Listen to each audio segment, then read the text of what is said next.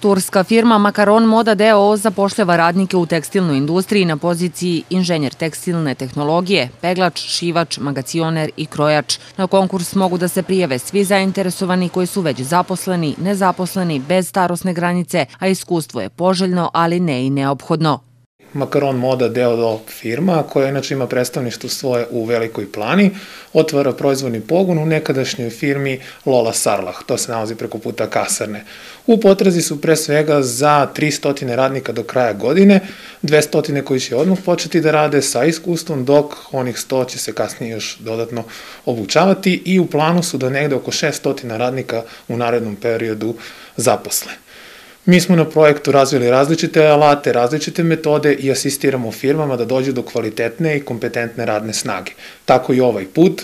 Probna proizvodnja počeće 15. februara, dok je redovna planirana za 1. mart, kaže Marko Cenić iz Job Info centra. Prekovremeni rad i rad preko norme plaća se preko plate. Radno vreme je od 7 do 15 sati. Zainteresovani mogu da se prijave na broj telefona 010 501 820, na mail jobinfocentar.gmail.com, lično u Job Info centru u Bogojavljenskoj ulici broj 3 od 9 do 14 sati ili na portirnici nekadašnje kompanije Sarlah gde Makaron Moda deo otvara pogon. U toku je i obuka za ličnog pratioca deteta koju Job Info centar organizuje sa Udruženjem građana osveženje i Udruženjem za pomoć mentalno nedovoljno razvijenim licima. Petoro njih proći će obuku.